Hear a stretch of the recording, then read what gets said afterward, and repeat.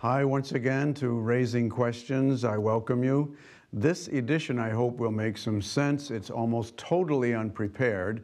And what I'm going to do is go through some news items and just give my response. And the whole idea is to illustrate how impossible politics have become and ask, is there any sort of solution? We just don't know. So one of the first things that I ran into uh, during the recent past is the um, issue about high prescription drug prices in America. And in fact, even the AARP bulletin is on top of that. And it looks as though the situation is basically hopeless. The whole thing that I wanted to say about it is we all know that prescription drug prices are far, far too high. They're much higher here than they are in what I call the modern countries. Our NATO allies, for instance, have government agencies that actually bargain with the drug makers to settle on their prices. Just to read for a second from, from the bulletin, one reason the U.S. has the highest prescription drug costs in the world is we're the only industrialized nation whose government does not bargain with drug makers over pricing. Well, that's something we got to change. All right, what else is going on that we can complain about? Uh, one of the main things is in foreign affairs that apparently John Bolton, a close advisor of the president, has decided that we need some sort of war with Iran, according to a lot of people, especially in the liberal press. The more conservative press, I think, understands no, that's not what's going on. We're not going to get into war with Iran. I mean, imagine that if we did. Iran's a huge country, got a lot of people, big army, et cetera, et cetera. We're not going to go to war with Iran. But the smart thing is that the Trump administration is doing is putting pressure on Iran, backed up by military um, force or military demonstrations, not military shelling of Iran, just making it plain to Iran, look, if you don't stop fomenting violence in the Middle East, you're going to be in trouble. Now, that doesn't mean that we have to, again, shell Iran, and the Iranian leaders know that. They could get in more economic trouble. What I'm trying to do here is defend Mr. Trump and Mr. Bolton. Boy, do I hate to do that. But what they're doing is making some sense because Iran is a troublemaker in the Middle East. What I hope they don't do in the Trump administration is to convert them into some sort of Satan against which we just have to go to war, like the predecessor, the foolish administration of the George W. Bush type, and George W. Bush himself, got us into war in Iraq. It's basically still not over. I don't see the Trump administration doing that kind of thing. That's soothing. What about this, though? In London, we have more worries about Brexit. Everybody knows, I hope, what Brexit is Britain exiting from the EU, from Europe. Now, that's a problem. And the British have been very, very slow to get that going. Three years ago, the British people voted by a narrow margin let's get out of Europe. It was to a large extent the country the countryside against the people of London. London wanted to stay. A lot of people in the countryside want to get out because they're not getting richer and richer like the people in London who are feeding off international transactions with the EU in very fancy offices in London. Well, that just shows that Britain is very, very slow and badly governed. True or false? No, it doesn't prove that at all. But last night, to get into some domestic news here, last night I was watching a television show, a conservative television show, as a matter of fact, with a uh, report from London. And that reporter, the reporter in London, a woman who has her own show on this conservative network, she was in London and she said, everything is going very, very slowly in London because, in England, because they have this thing known as a parliamentary system. And in a parliamentary system, you just can't get things done. And they don't have real elections. She was saying garbage like that. I'm exaggerating, but only a little bit. And then the host of the program chimed in brilliantly and said, I don't understand the parliamentary system either. Now, together, these two people are making what? 20 or 30 million dollars a year, and they don't understand what a parliament is? And how it works and how it is often very much better than our system? Not good, not good at all. Now that brings up the situation here uh, in domestic policy. There's a wonderful article uh, by a guy named Jake Sullivan recently uh, appearing in the uh, Atlantic magazine a few months ago. And he points out that our foreign affairs problems actually are interlinked a lot with our domestic affairs. And he gets to a point that actually has been on this show before, but it's relevant to this question. What's better, a parliamentary system, the American system? What can help solve problems. After all, we have our own problems.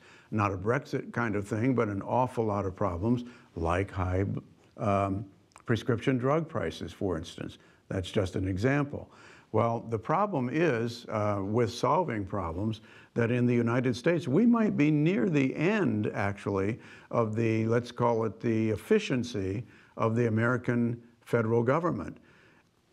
As Jake Sullivan points out, or comes close to pointing out, we had founding fathers who were backed up by founding mothers, of course, who wanted two things active citizens, and they wrote a constitution for that. You have all these rights like free speech, be an active citizen.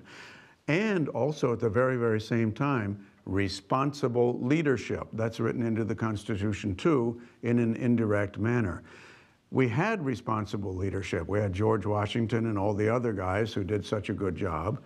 And I wonder what would happen today if a George Washington got into the White House. Let's say George Washington himself got into the White House.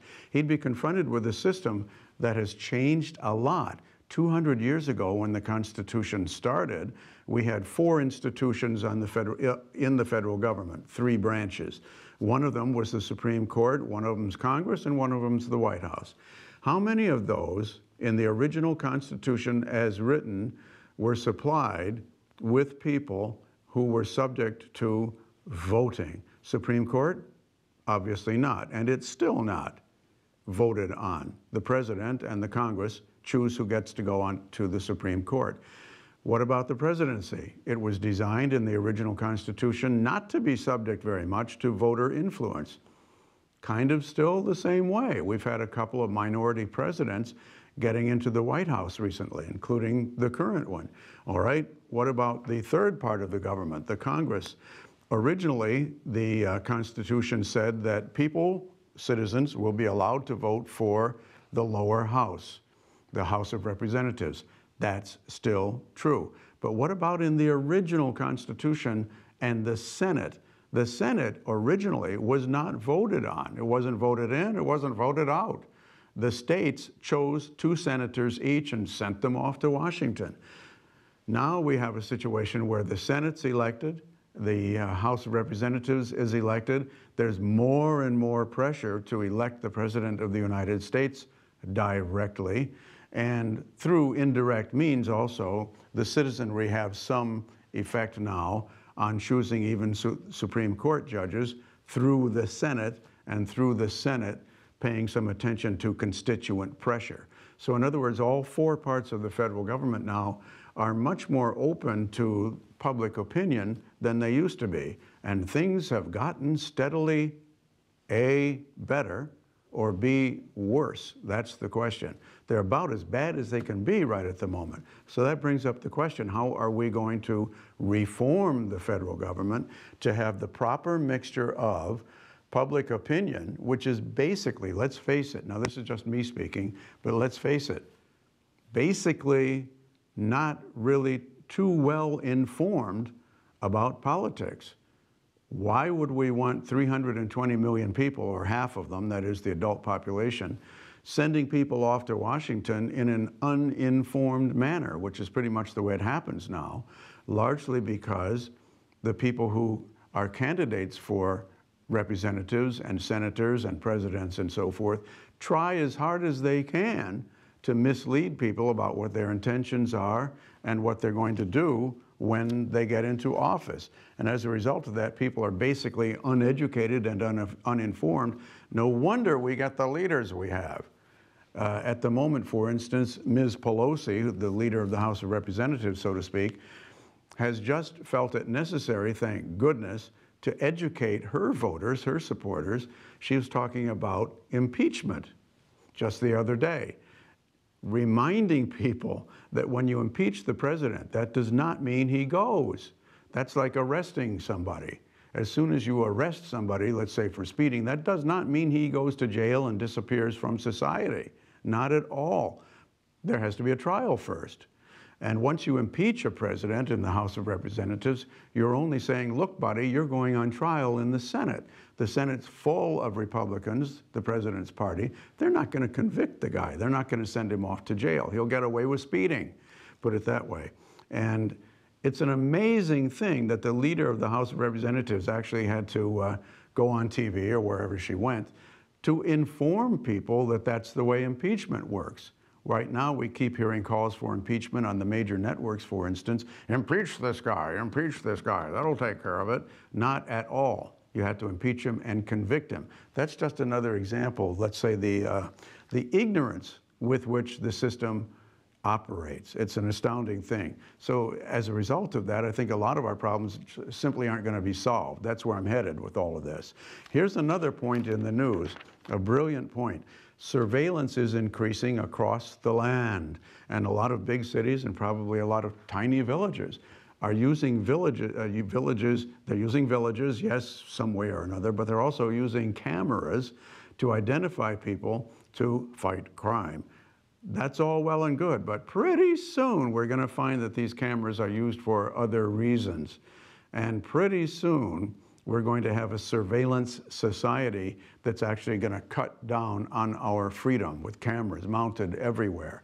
Pretty soon, boy, if you're at the Super Bowl and you root for the wrong team and the local sheriff doesn't like that, he can get out to the parking lot pretty easily and tow away your car. Is that what's going to happen? Yes, all sorts of things like that are going to happen. We have to stop the over surveillance of society and the over technologyfying of society, most of which is in the hands of people who are fairly antisocial, extreme introverts who relate much better to computers than they do to other people and to society at large. We've got a real problem there. Just the fact that we have wonderful iPhones, et cetera, et cetera, shows um, paradoxically, we're not increasing healthy communication between people. We're not just doing that. We're also making it possible for the system, the police, the government, and even private corporations to spy on us and punish us for doing things that they don't like. There's a big problem. So if our system breaks down anymore or fails to come through, again, we've got problem after problem. So here's a, a wonderful quote about that. Politics, this is in The Week magazine, and it's a statement that came from a poet, Paul Valéry, Politics is the art of preventing people from taking part in affairs which properly concerned them. Politics is the art of preventing people from taking part in political life. That's really, that's really very, very accurate. And it kind of um, identifies too or underlines what I was trying to say earlier.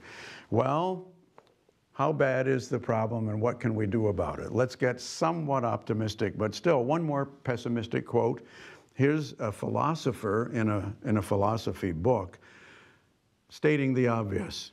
Men can be free only when they are approximately equal in capacity and power. And nevertheless, their equality is destroyed by their freedom. What a point. Men, that is people, it's an old book, people can be free only when they are approximately equal in capacity and power and nevertheless their equality is destroyed by their freedom. Freedom destroys equality, he's trying to point out, in many cases. This is a guy named Will Durant, by the way. He's the philosopher. The fact that Mark Zuckerberg has almost complete freedom to your data and other things, almost total influence in the realm of digital communication, means that he's a very free guy. He has $71 billion and all the influence that goes with it. A lot more influence than good politicians have in Washington, D.C., because they're afraid of guys like that. Markey can give money or take money away from or not give money to the very politicians in Washington whom he defends, whom he depends on, and then defends too probably, whom he depends on to allow him the freedom to expand his empire, and this is undermining other people's equality. That's a long um, and difficult subject to get into. Do we need equality of economics, of economic outcomes? Should everybody have approximately the same number of dollars? Or is it okay to have wild discrepancies between incomes and wealth, and to what extent does that wild kind of discrepancy undermine other people's freedom? Well, the whole point is probably politics will not get us out of these kinds of problems. So what I'm doing is examining much, much more than usual, um, although I've always been interested in it, things like mindfulness, things like Buddhism, and other uh, religions and spiritual avenues to try to get away from the morass that we're in in politics. And in the following few seconds, I'm just going to say, we can't answer any of these questions using this right now. There's just not enough time, and I'm not good enough at it. But there is a solution to the meaninglessness of politics and the meaninglessness of a lot of other aspects of life and you can find some answers, it would seem, through the mindful kind of approach.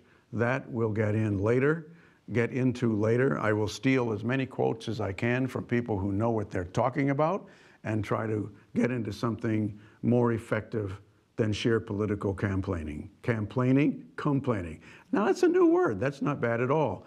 Campaigns are complaints. Complaints are campaigns. So let's get away from political complaining and see what we can do, maybe through a more mental and spiritual approach.